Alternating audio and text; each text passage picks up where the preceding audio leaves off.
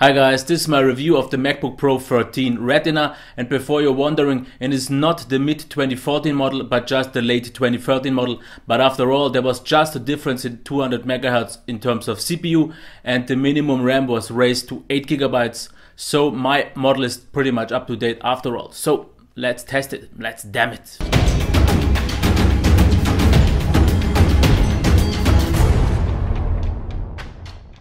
Let's talk about the design and the build quality. And the first thing I want to talk here about is the build quality itself because the device is made of uh, the aluminum and it feels super premium, looks very elegant, sleek and also very solid. The only thing where it maybe doesn't feel super solid is at the front of the bottom of the device where it slightly, ever so slightly bends when you are picking it up, but that's pretty much it. But otherwise, they have so many little details that make the device feel so nice and really smart, intelligently designed. Starting with the charging port, so when you charge the device and plug in the uh, charger, you will see an orange LED while charging and a green LED when the device is fully charged. This is a small thing but really makes a difference. Another really nice thing is the cutout at the front of the device so you can open it with one hand. And another good thing here is the stiffness of the hinge because it is stiff enough so it won't wobble around but it is loose enough so you can open it with one hand. This is also one maybe small thing, but it really makes a difference because opening with one, one uh, with one hand is something I really prefer to do.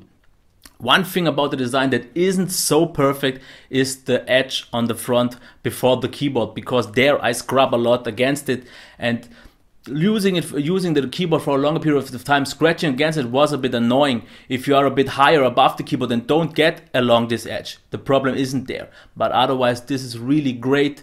And another one really small thing i have to mention is when you close the device this closing sound feels or sounds something like from a luxury car. You really have to hear it because all the other laptops they just close and boom. And this has so a nice comforting sound those small things make a difference. The next thing I want to talk about is the keyboard because it is a really outstanding keyboard and I would even dare to say it is the best on the ultrabook market.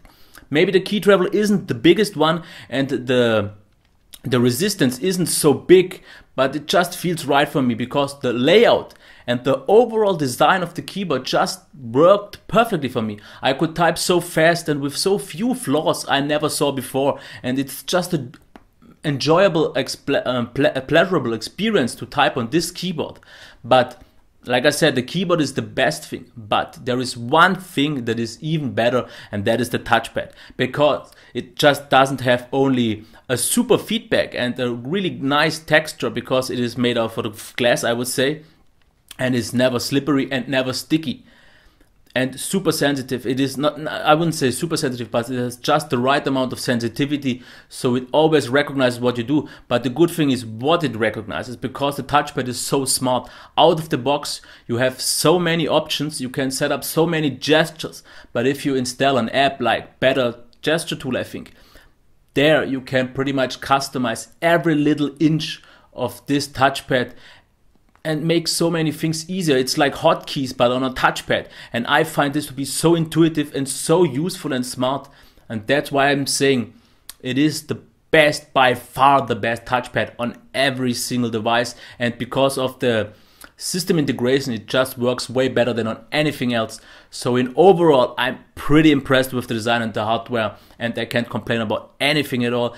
The only thing is the edge, which I don't like, but otherwise it's pretty much very, very close to perfect. Okay, so now let's head on to the display. We have a 13.3 inch display with a resolution of 2560 by 6300, which they call Retina. And I have to say it is super sharp, but it's not like there aren't sharper displays out there. But the good thing here about macOS is it handles scaling way better. You have two different options, one that is showing you the native resolution then you have three different scaling solutions.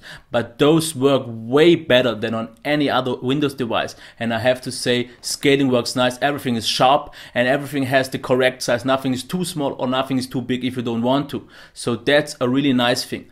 About the brightness the device can get very bright and even in sunny daylight in my room at least here i never had any problem i had to go higher of course but usually in a in a normal lit room i'm at about 40 50% maybe 60 if i just want a brighter level so definitely everything great here. In terms of the whites, I am super happy. They are, I would say, pretty much neutral. Not too cold, not too warm. Maybe, maybe ever, ever, ever so slightly warmer, but I would say pretty much perfect because you can look at it for a long time and it's not fatiguing you.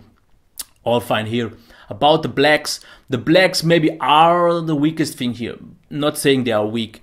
They can get pretty deep, but if you're watching a lot of videos with a lot of dark content, you will notice sometimes a little bit of details getting lost. But like I said, this is complaining on a very high level. About the colors, awesome. I can't say anything about them. They are vibrant enough to give you a nice, pleasurable experience, but never too saturated so they would feel inaccurate. They look very accurate to me, and I would say pretty much what you expect them to be. Perfect balance in terms of vividness and accurateness. I would say awesome. The viewing angles also as well are totally solid. No matter how you look at the device, it just looks right. Nothing to complain here at all. So in overall, the display I would say is the best I've seen on any Ultrabook so far. I've seen the one on the Yoga 2 with the higher resolution. I've seen a lot of different displays right now, but working together with the OS, this is the best in my opinion I've seen so far. In terms of sound, as always, I will give you a small demo right now.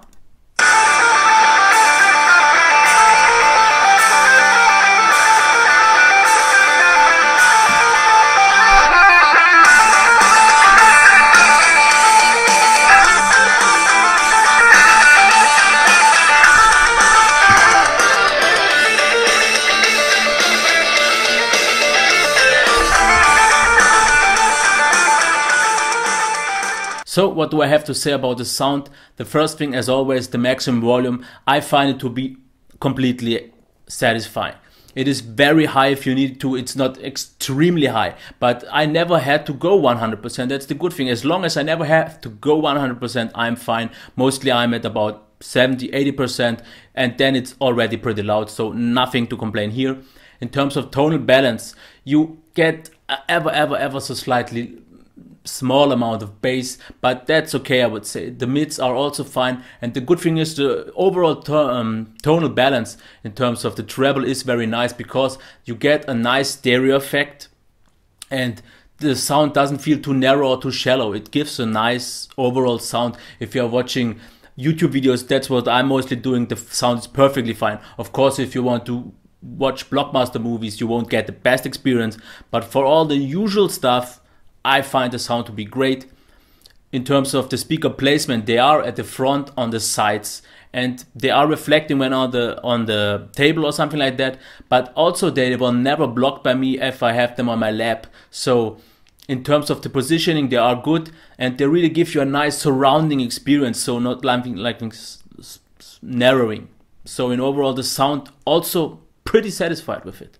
Performance is something that is pretty important for me and here are a lot of bright spots but also a few darker spots here and I want to talk about the darker spots first.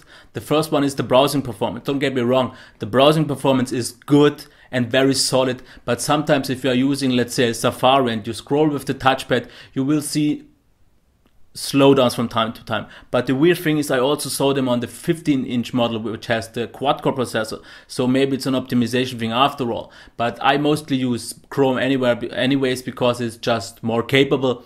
And using it with a mouse the performance is great once the page is loaded because if the page is still loading you can't just scroll really good because it's still lagging. With a touchpad it sometimes lags a bit, but in overall, I would say the browsing performance is okay, but it could be definitely better. Otherwise, the app performance, I had no real issue with any app, but also I don't really use a lot of apps here because I use mostly use my video editor, my browser, maybe iTunes or something like that. That's it, and those things all were fine. In terms of the storage speed, this was really impressive because I got read speeds of 730 megabytes per second and 680 megabytes per second in write speeds. And this is even, I would say, I think 70% faster than my desktop PC. So pretty impressive here as well. The Wi-Fi was very strong and also very fast. For my particular case, I got transfer speeds of 35 to maybe 50 megabytes per second, and this is almost 10 megabytes faster than all the other devices I had so far with my AC router. So pretty impressed here as well. As for gaming, I can't really say too much about the gaming because if you really want the gaming PC or an Ultrabook, this is not the right thing for you, I would say, because there aren't all the great eh, games. And I'm really not sure about the gaming performance. I didn't really test any because if I would like to game, I would do it on a Windows machine. It is possible here, I'm pretty much sure, but I, I, I just don't think this is the right device if you are a heavy gamer. The one thing I want to talk about that is really, really awesome here is the video editing because we are using an Intel Intel Iris Graphics 5100 and the Intel Iris is way more performant than the Intel HD 4400 I see on most other devices because if you are a heavy video editor this is the right small portable machine because I use it mostly right now for my default video editing and everything works fine. If I use iMovie or Final Cut, of course, the render, um, the video editing itself isn't as good and as fast as on my quad core Intel, what is it, uh, Intel i3770T. It can't compete with that, but for a portal machine and the good thing here is that I love the video editing software here. Final Cut Pro and iMovie really do a easy but still very capable job. So the rendering is also very fast. So if you want to video edit a lot, this could be the right device for you. So in overall, the performance is on a very good, very satisfying, solid level. But things like the slowdowns within app switching and so, and in the browser could be a little bit better, but after all, still pretty good. Now let's talk about battery life, noise and the heat. And the first thing as always, a full charge needs 2 hours. About the battery life itself, it's hard for me to tell because I didn't find any app that could tell me how long I've using the device. But so far from what I can tell from my personal experience, it was the best battery life so far from all the devices I've tested. It was very solid, convincing. The standby drain was almost non-existent and I could use it for office stuff for hours and hours and hours and video watching as well. I would say for video editing, four hours of straight video editing should be no problem. This is what I usually got when the device got low on terms of battery, but that's a pretty good term because video editing is pretty heavy after all. The one thing where the battery gets kills almost too fast is a video hangout. There I had a drain of 1% a minute about and the device also gets very hot and very warm. And this brings me to my next point, the noise and the heat. Because the one thing where the device gets really warm are, like I mentioned, the hangouts, and there the device gets hot and warm. I don't really know why, but that's pretty much the only thing. Otherwise, the device 90% of all the times is practically silent. You hear nothing out of it. If you're doing some slightly heavier stuff, the fans kick in, but ever so subtle, and you, I, I never really noticed them on video, even on video editing, and that's a really nice thing.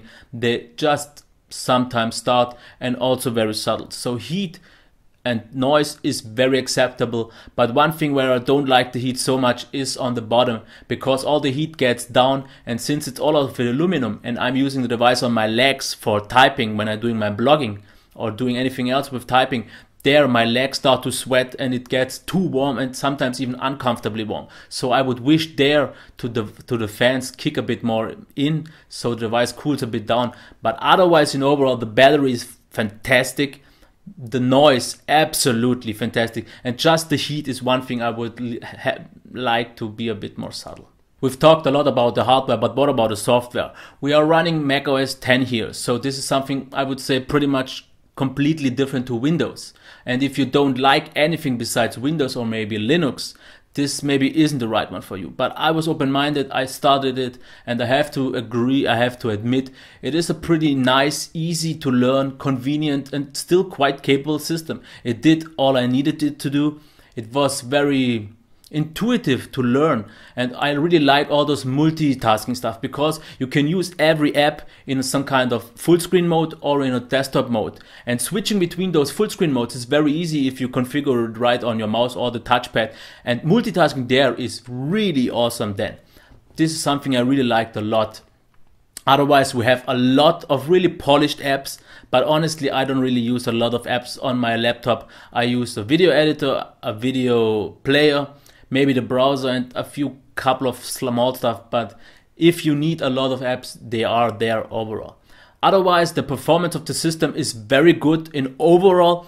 Switching between full screen apps sometimes, so the multitasking you will notice a, a smaller bit of slowdowns, but that's pretty much it.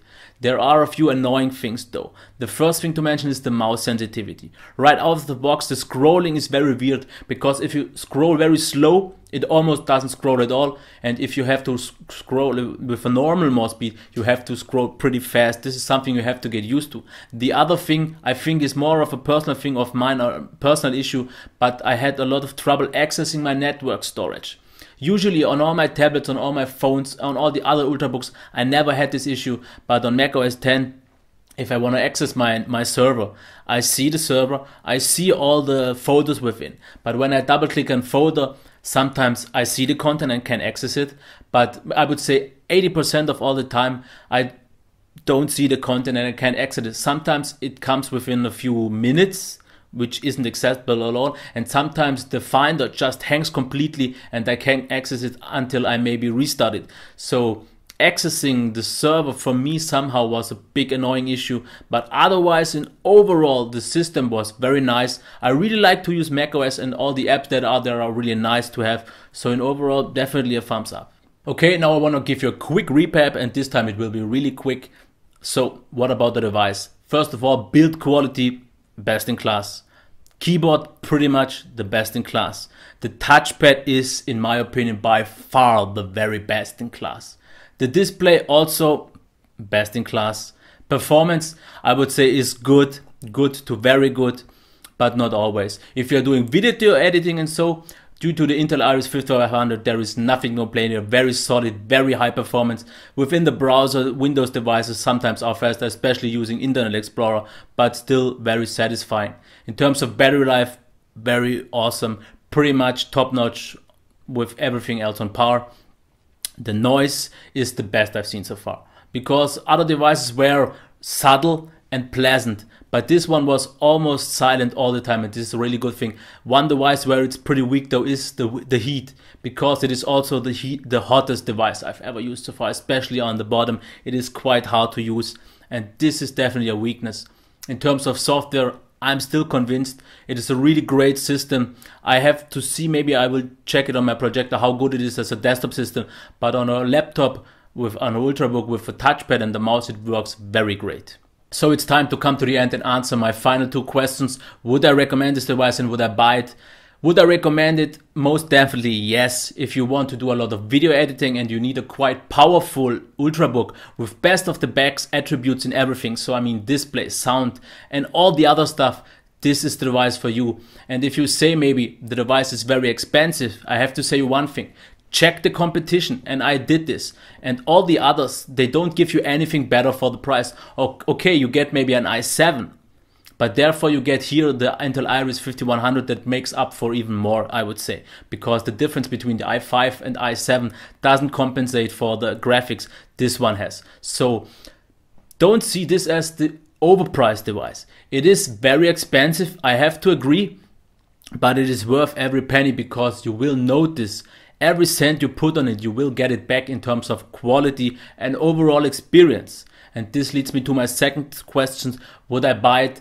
And yes, I would buy it, and I'm also giving it the highest rating of all Ultrabooks I've given it so far. But the reason is not because I bought it, it gets the highest recommendation. The reason is I bought it because of this high rating. The device in overall is just so close to perfect. And the only two things I maybe have to complain about is the hard edge front in front of the keyboard I don't like so much, and the pretty big heat dissipation it gets. And maybe the performance it could be sometimes a bit better, but in overall the package just is close to perfect. And now maybe you could have a question for me, and you could say, Damir, you always complain about everything and so much, and you didn't complain close to as much on this device. And I have to say, I agree but the reason I didn't complain so much here because the device just is so good. It, it's just as it is. Everything they did, they did pretty much perfectly, close to perfect, if not perfect. And that's again why I'm giving it my highest recommendation for now on any Ultrabook so far. Okay, this was my review of the MacBook Pro 13 Retina. If you liked the review, please give me a thumbs up. If anything else is there please leave me a comment, subscribe to my channel, and if you didn't like the review, do whatever you have to do. Okay, bye.